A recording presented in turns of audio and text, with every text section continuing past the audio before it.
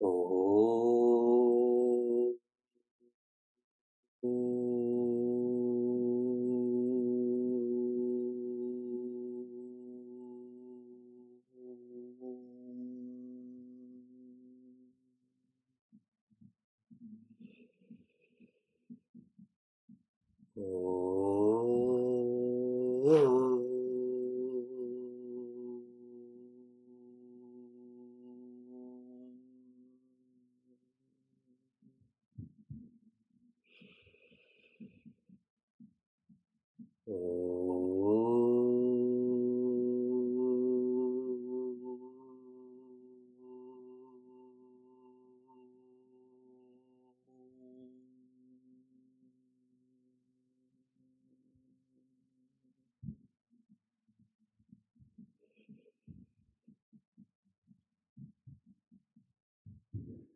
Welcome to Meaningful Mornings. We're also having a dance party right now. In the background, you can hear Go West by the Pet Shop Boys. this weekend in Canada, we celebrate Family Day. Monday is a federal holiday. So I'll share some family happenings in our family when I pick up our kids and I bring them home after daycare, we drive by this aquarium amusement park. And our older son Vyasa, whenever we drive by, he sees the parking lot is empty and it's so cold.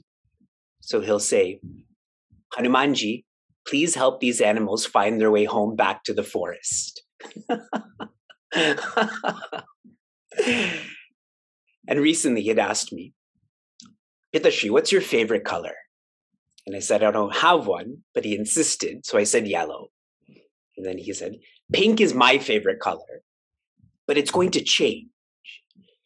And I was concerned that because he's a boy, he's not allowed to like pink. And I said, why?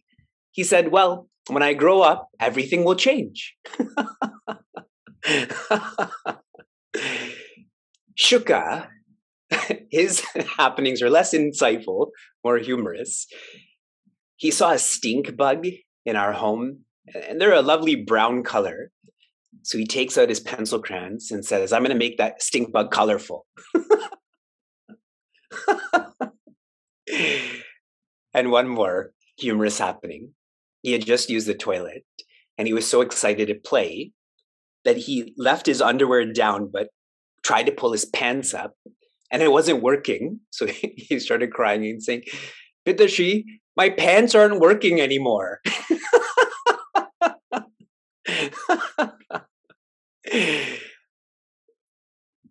you all have your own families. But through meaningful mornings, I want you to feel that your family is now this community.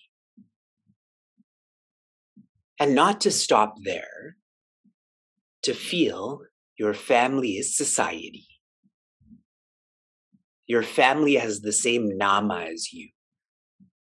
Your community has the same rupa as you. We're learning to go beyond nama and rupa. That's where we feel a oneness with society. In our last verse, Sri Krishna says, Be rejoicing. How do we practice that? By knowing escaping pain is not equivalent to embracing peace. They're different, they're different dimensions. He shared, be joyous. How do we practice that? Not to externalize if you're joyous because of an external factor, that is not being joyous then. If you're joyous because your mind is quieter, that is being joyous. And the evolution of that? Be joy. This is where one is not living for sukha prapti.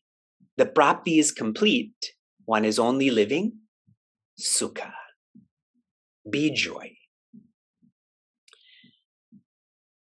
This last verse was sharing with us when we complete our journey to joy, there will only be joy.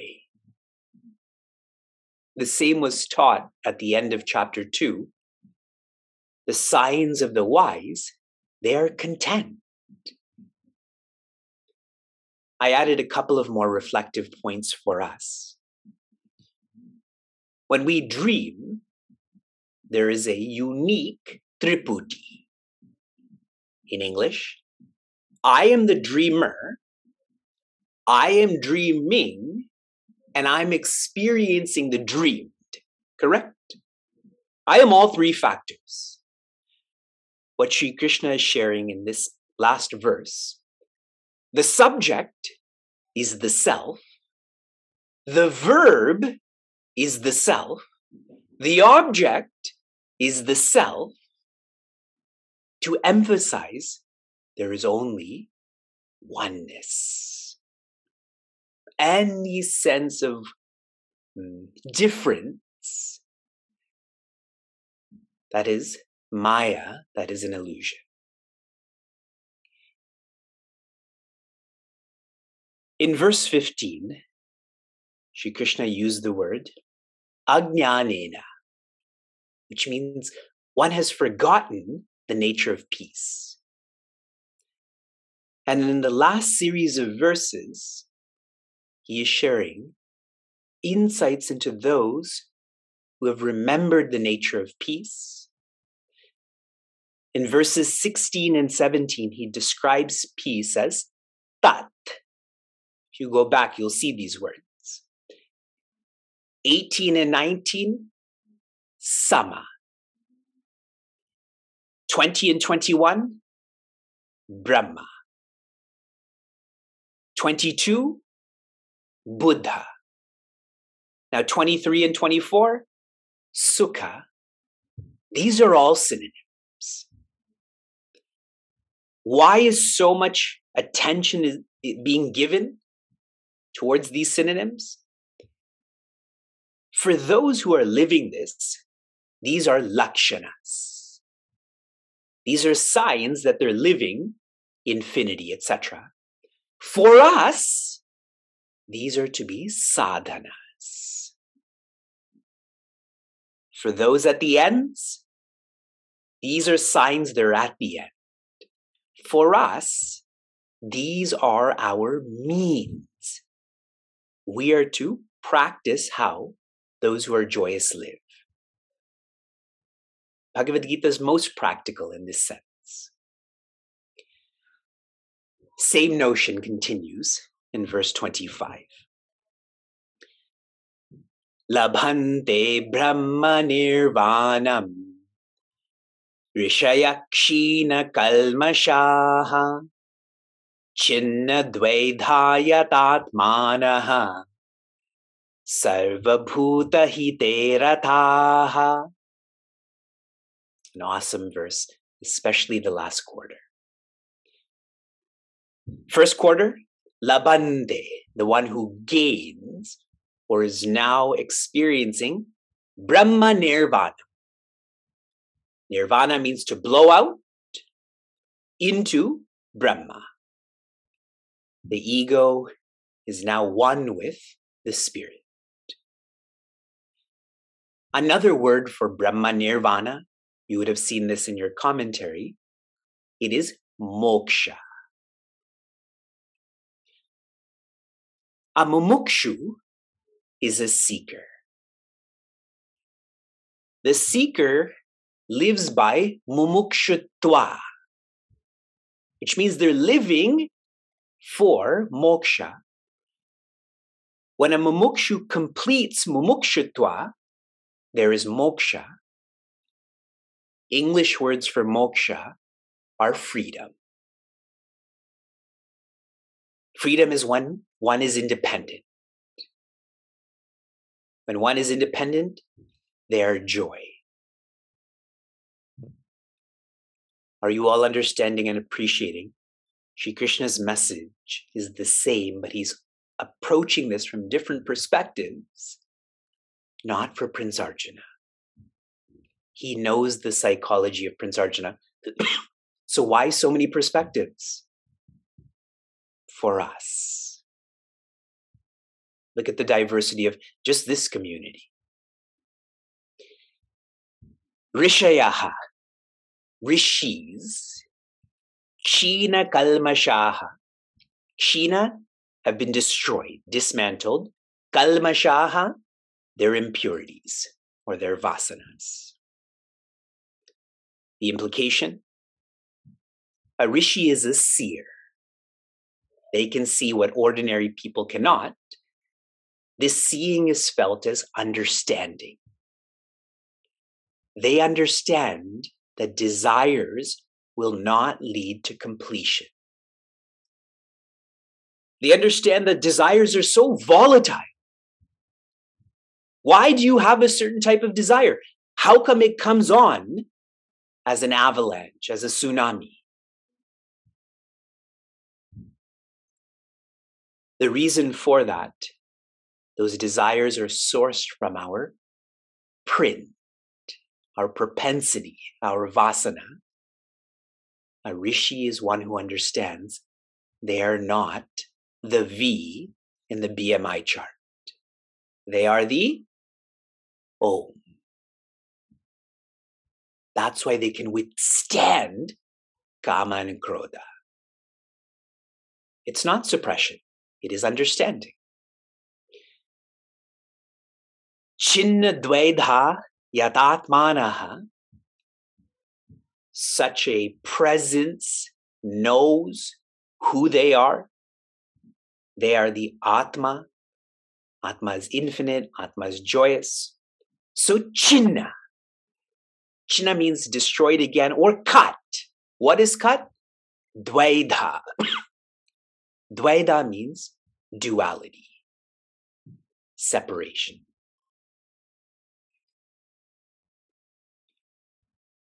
Since they know the nature of peace, how do they know that? They know their nature. they know their nature, so they know the nature of peace they have completed the purpose of their life. The purpose of our life is to go from separation to oneness. They had completed this and shared in a different way. They have paid off the debts that they were born with. We are all born with five debts I've shared this in many ways. And the more debts you have, the more separation there is. The more you pay off these debts, the more unity there is. Think of it financially. If you have a huge mortgage, your master is the bank, you are the servant. but as you pay off that mortgage, you and the bank become more and more and more as one, correct? And when one has paid off all of their debts, what do they do? Now they can give. And that is shared in the last quarter. Rataha, they are reveling. This is what they are now, what they do. Hita, they care. They have a welfare for Bhuta, Bhuta means beings. Which beings? Not just their family or community or society. Sarva Bhuta, which means all beings, including animals and plants and stones.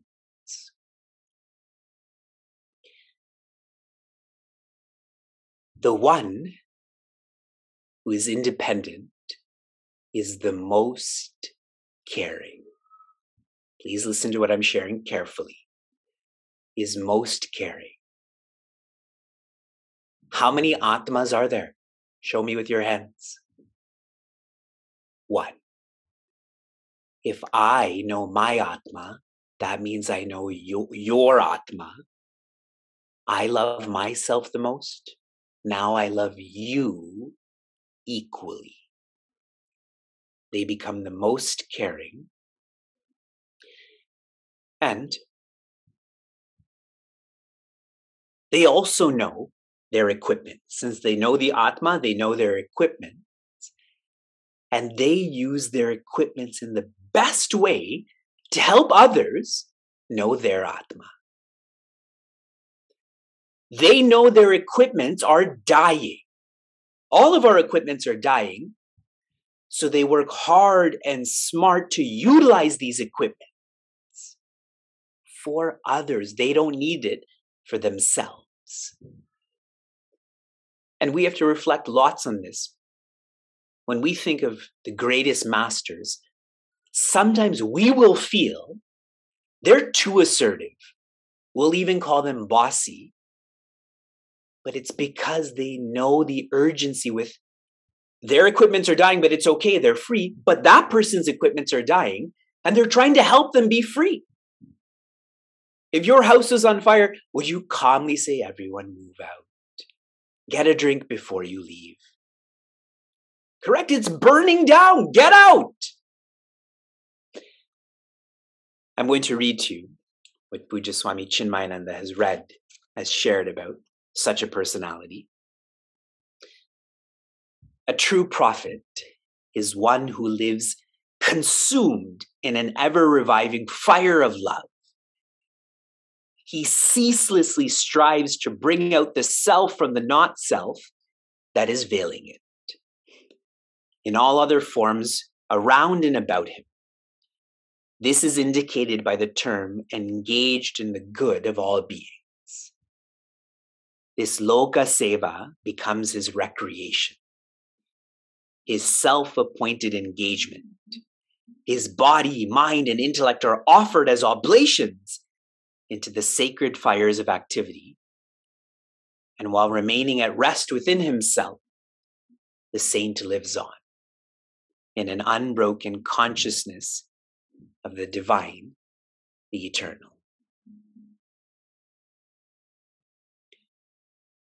From inspiration to application, your application will very much relate to this. Your application yesterday was for you to feel the completion of 85 weeks of meaningful mornings and then to reflect on who is most dedicated to you, who is sacrificing the most to you and if you did reflect on this, you will feel bhagya. You will just feel fortunate. And where does bhagya come from? Bhagwan. Where does grace come from? God. And you ever think to yourself, where is God? Don't be one who's forgetting what you're experiencing. Your application for this morning. How well are you serving society? In this verse, we have a description of one who serves society beyond names and forms. One is awful, 100 is awesome. You analyze how well are you serving society? How well do you live up to this last quarter. Shanti, Shanti, Shanti. He. Be safe, be sound, be serene, be happiness.